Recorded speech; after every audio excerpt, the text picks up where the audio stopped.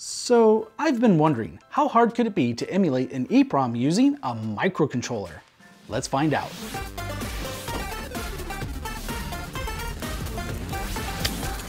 For a project, I am essentially making a miniature version of this Apple IIe computer. So if I want to use a USB keyboard, I need a modern microcontroller to emulate this one. In the IIe, the keyboard is made of switches in a matrix. There is a microcontroller with custom firmware scanning it. When it detects a key press, it addresses a masked ROM chip which maps the key to a ASCII value. That chip is connected to the main memory bus of the Apple IIe. If I can emulate that ROM chip, then I can use whatever I want as a keyboard for my computer. Also in the IIe are memory and I.O. controllers which talk to the keyboard micro to know when keys are pressed. So using a logic analyzer, I could see that every 21 microseconds, the MMU activates a signal connected to the output enable of the keyboard ROM chip. My final project will not make use of a keyboard matrix, so I can't just emulate that. I want to get it and its chips out of here. So I need something that can talk to the main data bus, but also be high impedance when not in use. To help make measurements, I made a small interposer board that lets me connect either the ROM or an Arduino along with a logic analyzer, such as this Digilent Digital Discovery. For my first test, I tried to use an Arduino Mega. To emulate the ROM's output enable, I set up an input pin with an interrupt on change. This way, when the signal goes low, the data pins can be changed from high impedance to outputting an ASCII A. And then when the signal goes high again, the pins can go back to high impedance. Frankly, I was excited about this option because it seemed like a perfect fit. Here's what happened. Yeah, that's the Apple IIe crashing into its monitor. So let's see what the logic analyzer shows and it shows when the keyboard signal asserts, the bus value is hex 20 when the Arduino should be putting out hex 65. I played around with the code for a little bit, but then I got to thinking, how long does it take for an Arduino to respond to an interrupt? So I modified the code to toggle a pin inside the interrupt routine, or instead of one pin, an entire port of pins. Same thing. On my first trace, I did not even see the pin from the ISR going high. By the way, on the logic analyzer, I am using the label any key for my debug signal. At this point, I was pretty frustrated. I double checked the code, I double checked the wiring, I double checked the and then it hit me. When I zoomed the logic analyzer trace out, then I could see my debug signal toggling. But it was way after the enable signal. Using the cursors, I found it took 3.5 microseconds. So yeah, there's your problem the actual keyboard enable signal is only active for about 500 nanoseconds. So the Arduino is taking way too long to respond and ends up trashing the data bus. Now I looked at the datasheet and the AVR can't get into an ISR any faster than about 1.5 microseconds, which is way too long. So we need another option.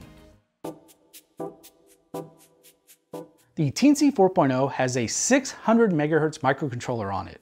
My hope was that it could get into an ISR faster than a 16 megahertz processor. Before connecting to the Apple IIe, I wanted to check to see what would happen with just the processor, so I wired it directly to the logic analyzer. The output pin gets two wires from the digital discovery because it can also be a pattern generator. The generator simulates the output enable signal, and then the logic analyzer can measure how long it takes to enter the ISR. The code is very simple.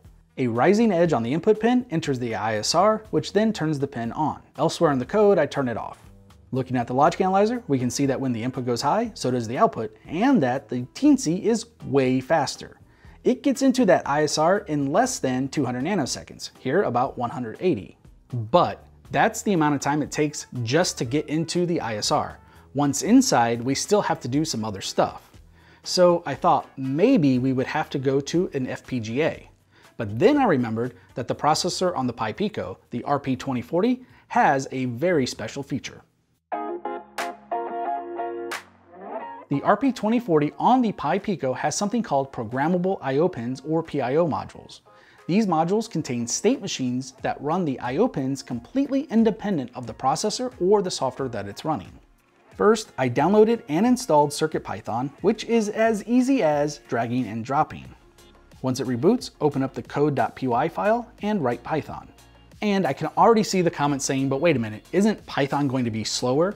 Remember, that doesn't matter because the PIO runs completely independent from the software. And a reason I like CircuitPython is because you write the PIO code as a string.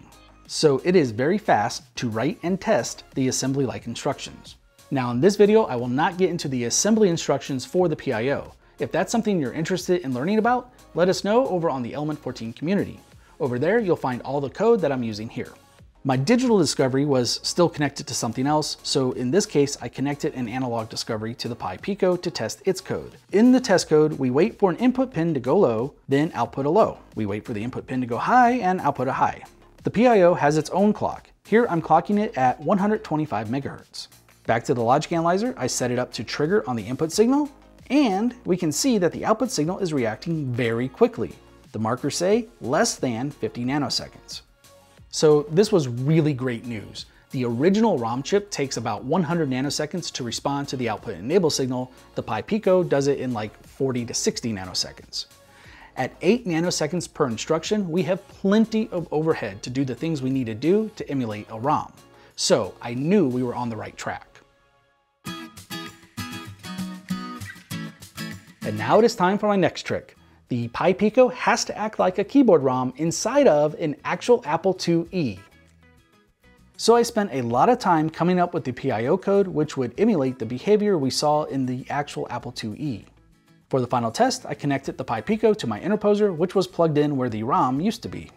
The CircuitPython code receives a character from the serial input and then puts that into the PIO to be output whenever output enable is asserted. At this point, I have not recreated the control signals from the keyboard controller to tell the I.O. controller when a key has been pressed. So I'll press a key on the actual keyboard to generate those signals, but the Pi Pico will output whatever value we tell it to. So no matter what key I press on the keyboard, we're going to output a different ASCII value. Before I show the result, here's how the setup worked. The window in front is a serial connection to the PIO. In the back is a composite capture of the Apple IIe. I shot this during a live stream. Here's how it went. oh, such a simple thing. Such a simple thing. B.